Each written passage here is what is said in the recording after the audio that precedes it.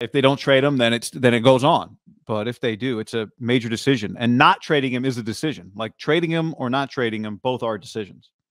I, I do think it gets lost a little bit on the internet because people root for I'm not even saying necessarily 49er fans, but people just eat this stuff up, all these stuff that goes viral. You know, Deebo, I would say right now is partly this draft really sucks. Like it's just let's let's call a spade a spade. It's pretty irrelevant. Uh, partly because no quarterbacks, but even their star power is like Sauce Gardner. I'm sorry, he played at Cincinnati. Most people couldn't point the guy out of a lineup. So the moment this happened with Deebo, it is like it feels 50 fold bigger than anything draft related. Now, maybe if you're a Giants or Jets fan, it's a little different, but I'd say the Jets, the moment they start getting connected, and we'll talk about the potential trades, like Deebo's a bigger deal than anyone they draft if they traded for him.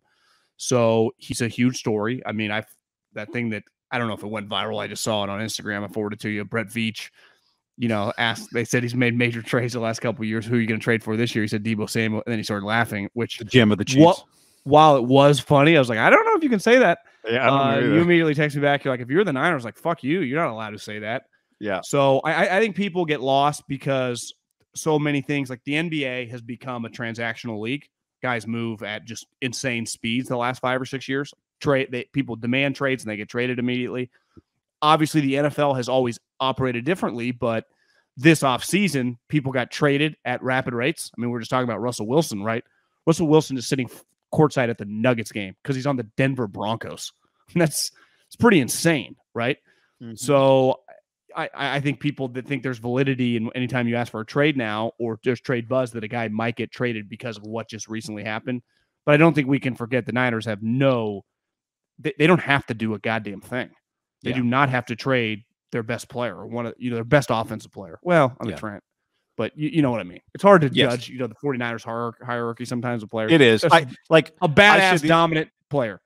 I said the other day I, he's more important than Nick Bosa, and then I was thinking about it the next day in the car while I was driving, and I'm like, the one thing, right? Even if you wanted to make that argument, which I made, which I did make, that he he carried them to the postseason.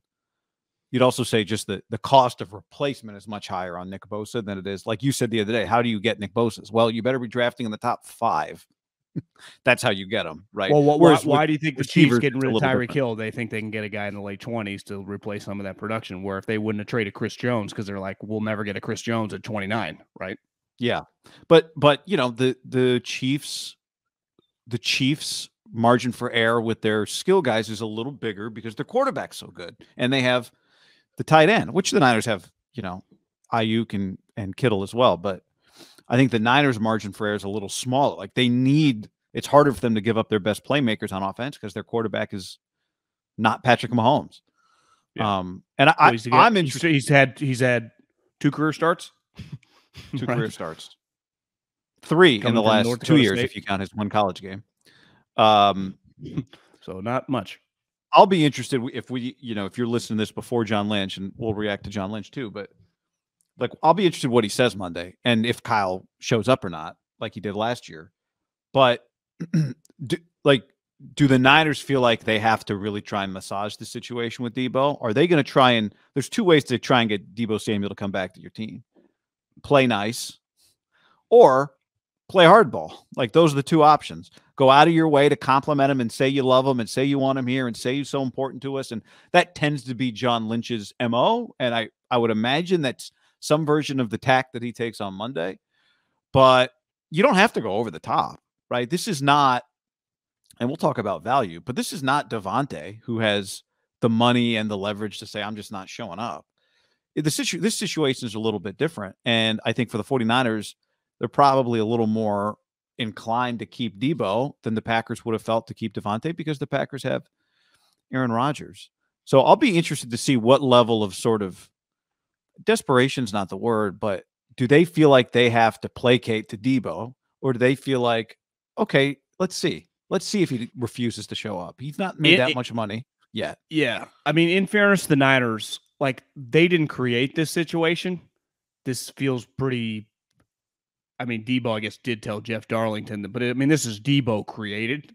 It's not like the night like they're at odds. Like ultimately, what if the Niners like we're not at odds? We never planned on getting rid of him. Like this, he wants to go, right? I, I think we just keep talking about it like it's two sides kind of battling. Right. What if the Niners don't look at it like that at all?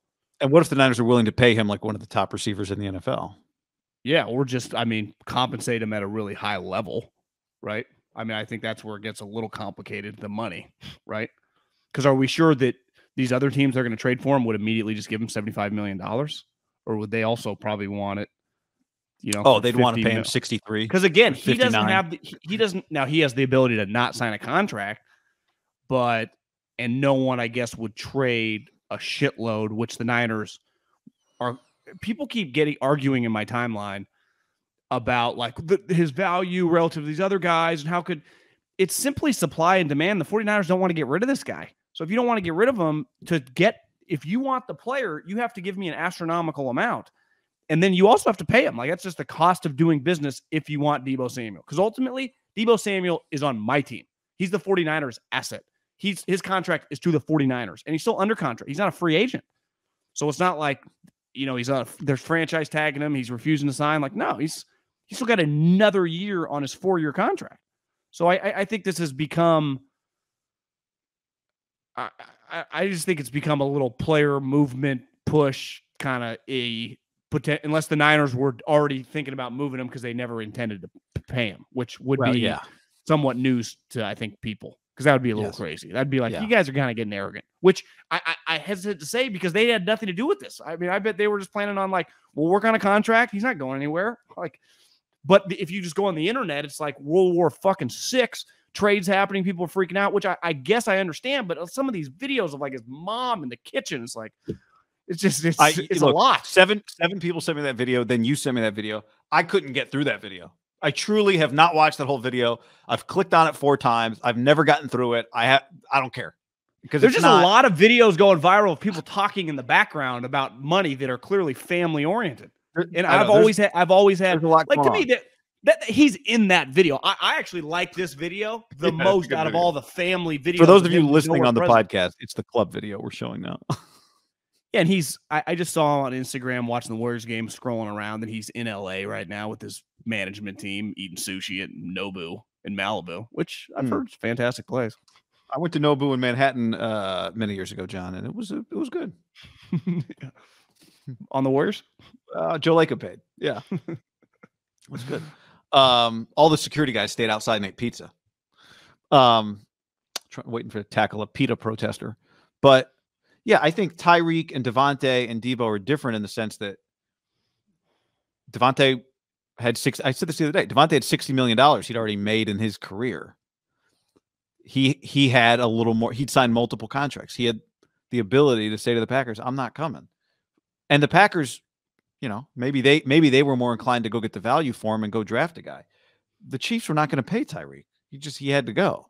So But d- d- uh, yeah. Do you know my takeaway from Veach even mentioning Deebo and the way he smiled? Like he's kind of laughing, but I, he clearly thinks he's sweet, right? And they would love to have him on the team, right? yeah, That, that that's part of like this guy's value is very high.